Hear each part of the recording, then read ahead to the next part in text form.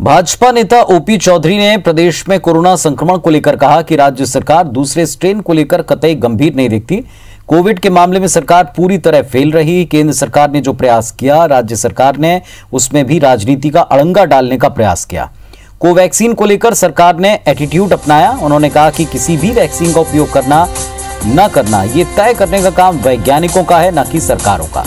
अगर मैं वैक्सीन लगवाना चाहता हूँ तो राज्य सरकार रोकने वाले कौन होते हैं? उन्होंने कहा कोरोना काल में जो स्थिति थी, अभी जो स्थिति है, उसे देखते हुए सरकार को इसे गंभीरता से टैकल करना चाहिए। ओपी चौधरी ने यह भी कहा कि राज्य सरकार कर्ज लेने के रिकॉर्ड की तरफ़ बढ़ रही है।